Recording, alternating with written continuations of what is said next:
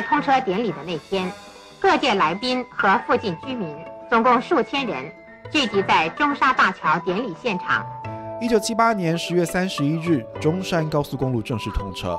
为了让所有人都体验到台湾第一条高速公路——长城巴士国光号，在隔天十一月一日正式营运。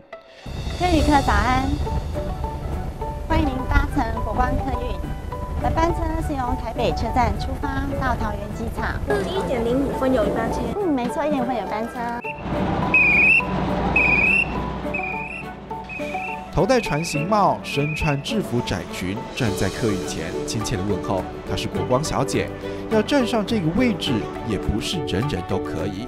身高要一百六十公分起跳，最严格的是体重限制在四十八到五十二公斤之间，太胖太瘦都不行，还得注意美姿美仪。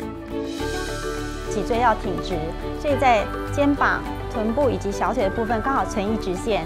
所以就是要靠墙壁站立，这个时候两手放松，然后呢，那个臀部微微的夹紧，这个时候是最正确、最正常的姿势。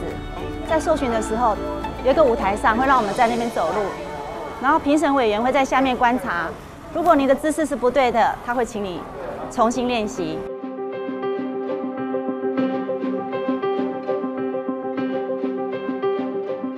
数百人报考，只录取五十个。过不了严格训练的，中途还会被刷掉。因此那些年有句话：“天上华航，地上国光”，是令人称羡的职业。回家的时候，万一穿制服回去，邻居都会出来给你们拍照或出来看你们对啊，都会回来看，说哇，哎，你们家的女人回来啦，好漂亮，然后回来看一下那个国光号小姐啊。说你公休，要是你如果愿意出勤上班的话，那就有加班费。那基本上这样子加起来的话，大概会有将近四万块的薪水。这是民国几年的时候？哦，民国七十六年。所以那个时候四万块薪水，你的同学们大概呢？哦，如果说跟人家比起来，我们大概比人家多了一万多块，是很好的待遇跟服务。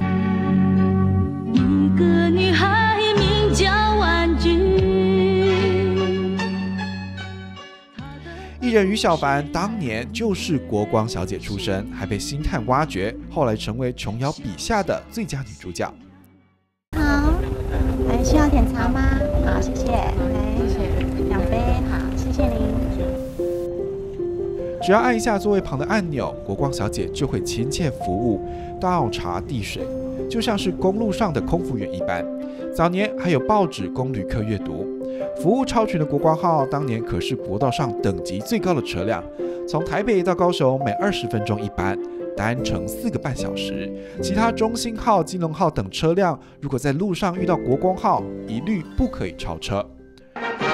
目前在台中泰安设有休息站，休息站内有茶水、毛巾、餐饮等供应。体恤旅客舟车劳顿，车到台中暂时休息十分钟。这对当时台湾人来说已经是很新鲜的体验了，而对于客运驾驶来说，开国光号更是梦寐以求。为了不断提高驾驶人员的素质，第三区运输处经常举行驾驶人员在职训练。那时候我要开国光号是要经过从最烂的、最最普通普通的普通车，慢慢慢开开开，然后有有几年以后，就去累积。经验啊，慢慢慢慢超快将近快十年，那时候我们将近快十年才开国光啊，才能够上。因为这个想要想要开这个硅谷巴士哈，每个人都是梦想的了。有当时我们台汽科研时候开国光有六七万，是有六七万的。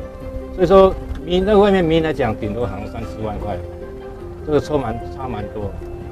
所以说很他们才想尽办法，一定要考进国光。排气科院，不仅要任职十年以上，就连驾驶过程中也不可有任何的肇事记录。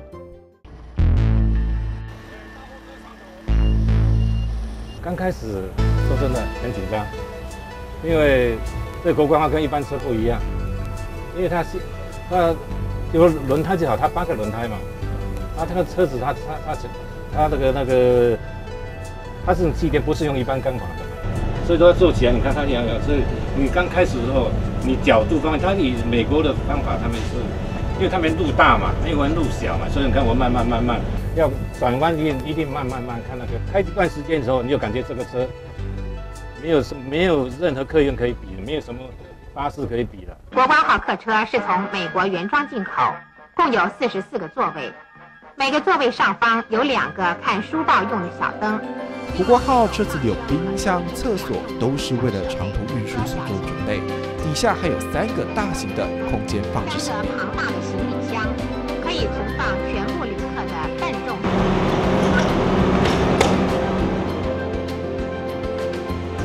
这个都是比照这个飞机的这个舱内的这种规格的所设计的这个置物柜哈，置物柜它这个置物柜的又很大哦，可以摆东西非常多，而且很坚固、很耐用。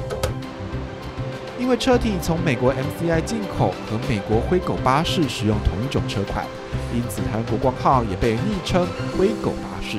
但2015年灰狗巴士已经正式退役，但国道上仍有一辆辆新型巴士接棒，持续服务着每一位旅客。